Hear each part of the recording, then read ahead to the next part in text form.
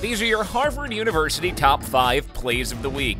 At number five, women's soccer. First year midfielder Taylor Nielsen volleyed home a game winning goal in the 83rd minute against Brown, capping a three goal comeback to keep Harvard atop the Ivy League table. Classmate Jordan DiVerniro kicked off the sequence with an acrobatic flip throw. Harvard takes down Brown 3 2. At number four, football.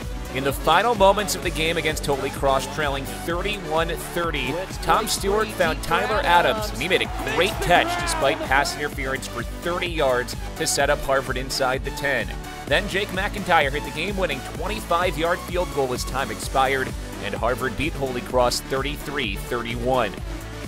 At number three, field hockey. Late in the second half of Harvard's 8 0 win against Cornell, junior Casey Allen made a spectacular play. She batted a rebound out of midair off a Crimson penalty corner, stuck it into the net for her second goal of the season. With the win, Harvard won its ninth in a row, a new program record, and improved to 12 and 1 on the season. At number two, women's soccer. In a midweek clash against rival Boston University, senior Leah Mohammadi scored direct from a corner kick with a high bending ball into the back corner. That goal was the third time in her career that she's scored directly from a corner kick, and she leads the Crimson with seven goals this season.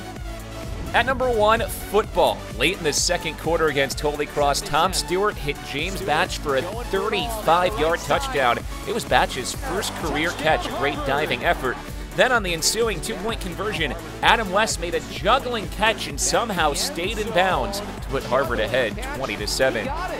That's it for this week's top 5 plays. Be sure to check out the Ivy League on ESPN for more live and on-demand content.